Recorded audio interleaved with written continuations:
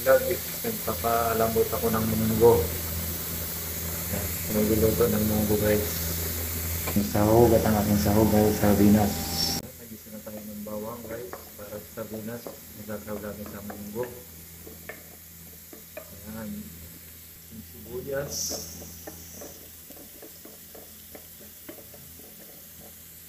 Ayan na natin ating ginger. ating sardinas.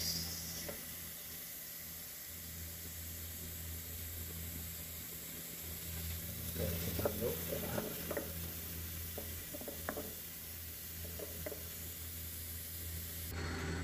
Ayan guys, malambot na yung ano, medyo malambot ng ating munggo. Ayan. Ay, dito ang ating munggo, guys. Ating munggo with sardines. Kailangan pink salt.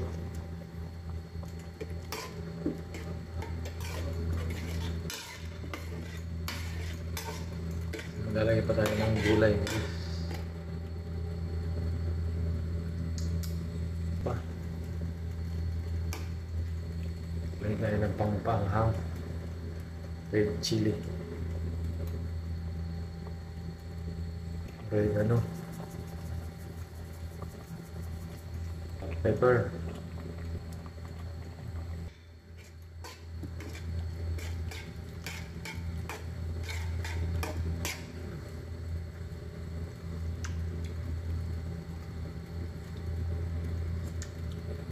Man, yummy na naman guys ang ating ulam para sa bukas. Tatakpan muna natin guys. Yan. Ito guys, ang aking isasahog sa aking munggo. Damo sa gulay. Kailangan natin maging healthy guys.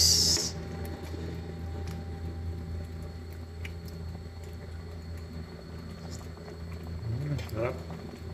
Sarap na naman. Pero ano to guys, hindi to ngayon pagkain, hindi to ngayon, bukas to.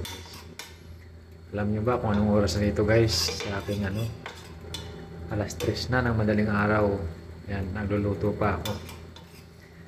Ano yata ko, hindi yata ako matutulog nito guys. Grabe.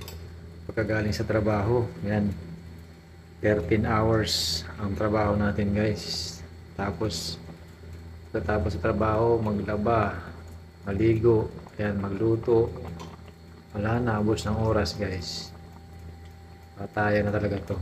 Yan ang buhay OFW, kala nyo masarap. Hindi yan ito biro guys. Totoo yan isang kinikwento ko sa inyo. Yan. Ang out ko sa trabaho, alas 12 guys. Alas 12 ng ating gabi. Hmm. Kaya, ayan, tinan mo. Ito, paawalan ko para to sa bukas guys. Wala nang oras bukas para magluto. Lipat na guys, kalas na. Tapos na ang ating munggo. Dito na siya para sa bukas. Ayan. Ganito lang guys. Maraming salamat sa iyong panonood guys. Thank you, thank you. Bye-bye. Ako'y matutulog na. Eh, Wala mo nang kain-kain. Bukas na.